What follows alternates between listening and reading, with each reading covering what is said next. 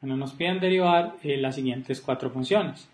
Comenzamos con la primera, nos dicen que y es logaritmo natural de tangente de 4x más secante de 4x.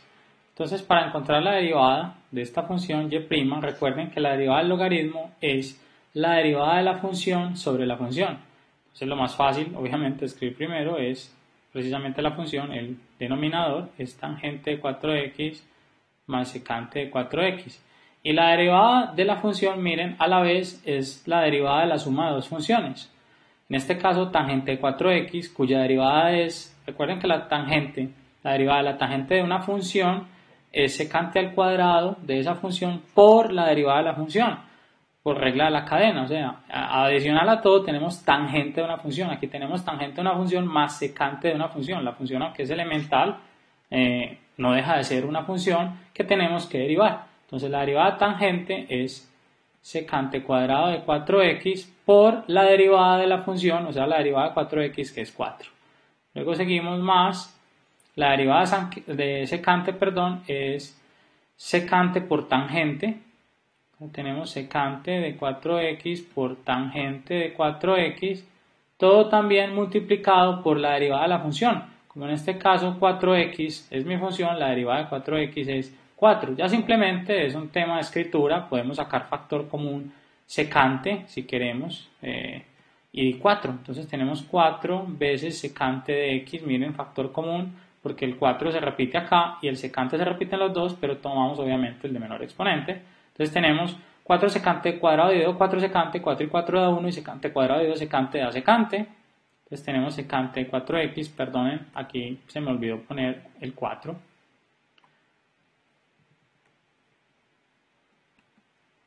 Y luego tenemos más la derivada de, eh, perdón, la eh, división entre 4 y 4 da 1 y secante por tangente y 2 secante, pues secante y secante da 1 nos queda solo tangente de 4x, todo esto dividido, miren,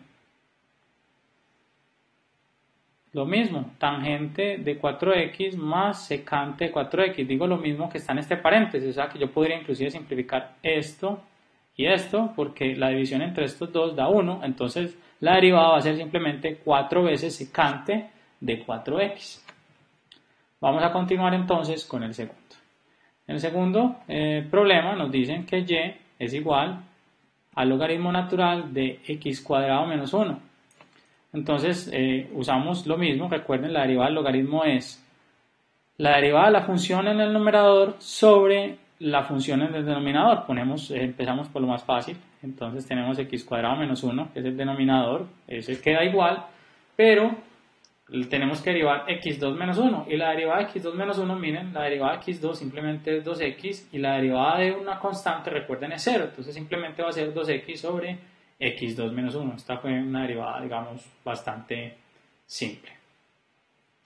Bueno, para el caso de la tercera función vamos a tener esto. Nos dicen que y es igual a x cuadrado que multiplica a x cuadrado menos 1 al cubo por x más 1 a la 4.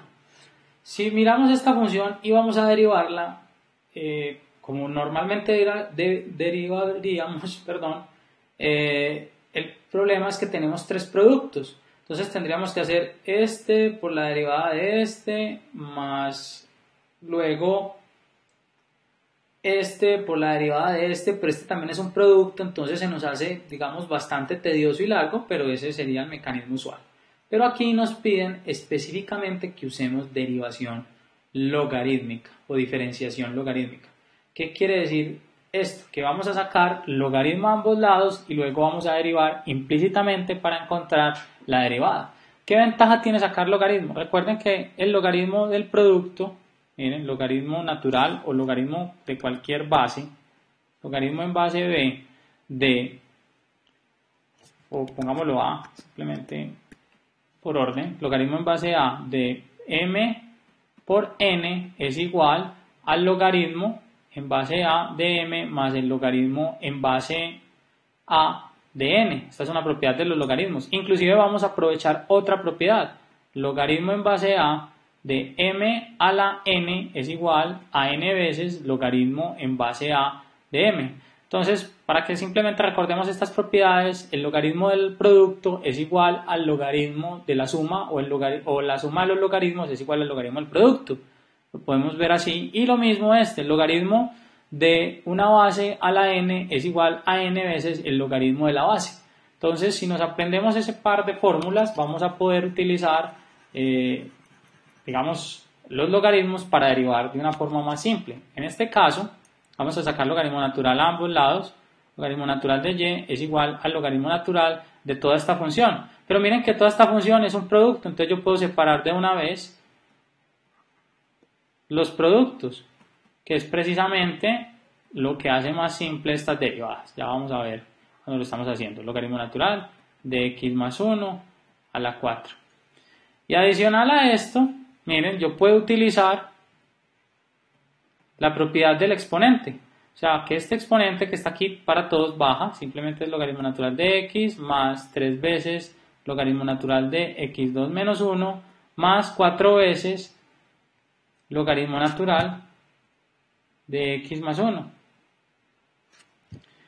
Con esto, entonces ya sí puedo derivar a ambos lados y voy a tener una forma más fácil de derivar. Entonces vamos a derivar ya el lado izquierdo y el lado derecho. Entonces, si derivamos el logaritmo natural de y, recuerden, la derivada del logaritmo es la función, en este caso la función es y, sobre la derivada de la función. La derivada de y es y'. Recuerden que estamos derivando con respecto a x. Aquí es donde precisamente estamos empleando regla de la cadena y diferenciación implícita como tal. Cuando derivamos la función de y con respecto a x, simplemente derivamos normal, lo que tengamos que hacer en este caso, como es la derivada de un logaritmo, entonces es y' sobre y y listo.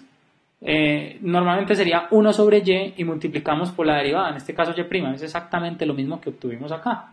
Entonces eh, tenemos y' sobre y igual a esto, vamos a derivar esto, miren, tenemos dos veces la derivada del logaritmo, pero la derivada del logaritmo, recuerden, es la función sobre la derivada de la función y la derivada de x es 1. Aquí seguimos con 3.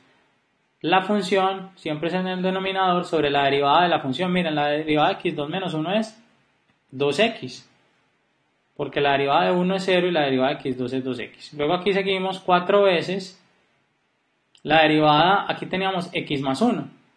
La derivada de x más 1, entonces es la función, es x más 1 en el denominador, perdón, la derivada del logaritmo natural de x más 1 es la función que es x más 1 en el denominador y la derivada de x más 1 que es 1, porque la derivada de x es 1 y la derivada de 1 eh, es 0, se nos lo ponemos. Simplificamos, miren, inclusive ya podemos despejar y'. y' va a ser igual a y que multiplica, miren, esta y que está viendo pasa a multiplicar a todos estos, pero aquí vamos a tener 2 sobre x más 3 por 2, 6x sobre x2 menos 1 más 4 por 1, 4 sobre x más 1.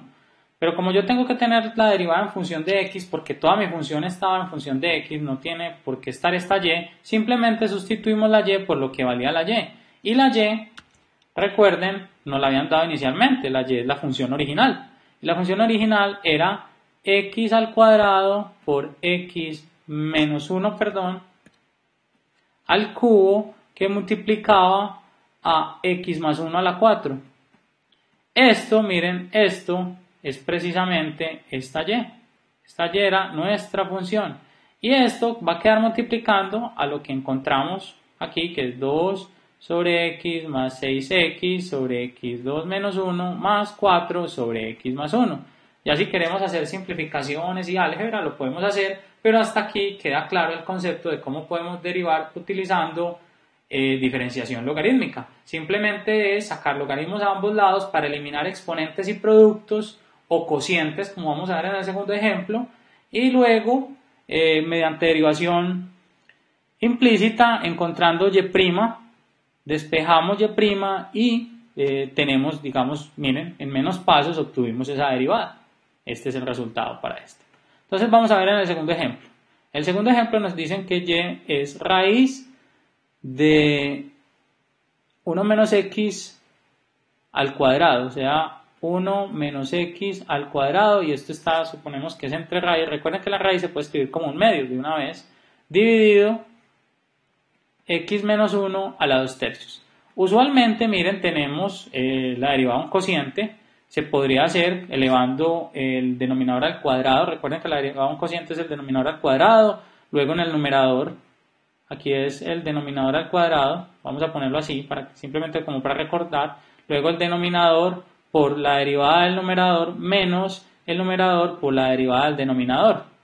Podríamos hacerlo así o podríamos usar nuevamente diferenciación logarítmica. Para hacer diferenciación logarítmica vamos a sacar logaritmo natural a ambos lados. ¿Qué propiedad vamos a aprovechar aquí? Recuerden que logaritmo en base a de m sobre n, o sea, el logaritmo del cociente es igual a la resta.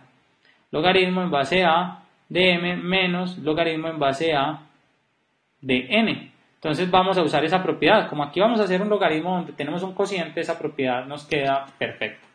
Bueno, entonces tenemos, sacando logaritmo natural a ambos lados, logaritmo natural de y es igual al logaritmo natural, miren cómo es cociente de una vez, lo separamos, 1 menos x2 menos el logaritmo natural del denominador x menos 1 a la 2 tercios. Pero miremos que nuevamente, este perdón a la 1 medio, podemos utilizar la propiedad del logaritmo natural de una función a la n. Podemos pasar este o de una potencia a la n, pasamos el exponente abajo, entonces nos queda logaritmo natural de y es igual a 1 medio, logaritmo natural de 1 menos x2 menos 2 tercios miren, baja logaritmo natural de x menos 1. Y ya derivamos. Entonces ya no vamos a necesitar esto que tenemos aquí arriba. Y vamos a tener,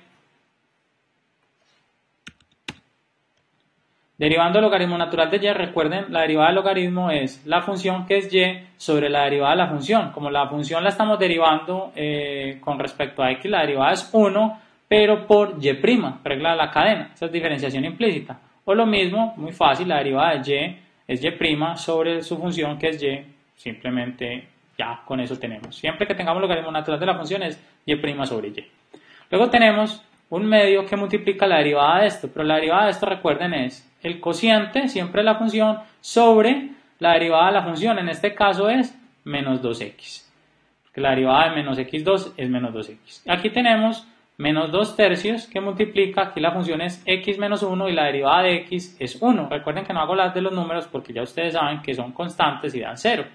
Ya lo único que tenemos que hacer aquí, recuerden, es despejar y'. Entonces si despejamos y', vamos a tener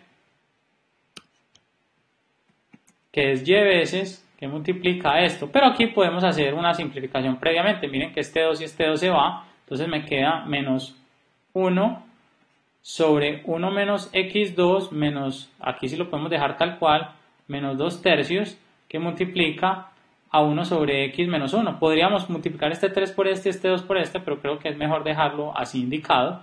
Y y, miren, ya simplemente lo sustituyo por lo que vale y.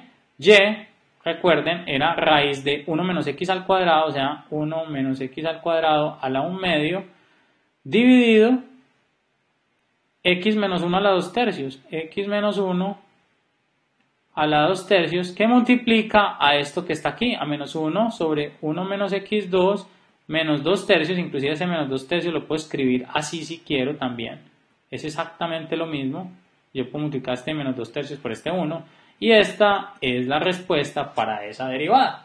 Entonces recuerden, esta y que está aquí la sustituimos por lo que valía la función originalmente. Entonces el secreto para la diferenciación logarítmica siempre es sacar logaritmo a ambos lados, utilizar las propiedades de logaritmos para separar los cocientes como restas y los productos como sumas. Y los exponentes siempre bajarlos a multiplicar, ¿cierto? Que es para que luego nos queden simplemente logaritmos lo más sencillos posibles, derivamos a ambos lados, recuerden que la derivada de y siempre va a ser esta, y' sobre y y siempre al final vamos a tener que pasar ya a multiplicar que es la función original como hicimos acá. Entonces simplemente tenemos la, las derivadas de los logaritmos multiplicada siempre por y que es la función original y con eso entonces terminamos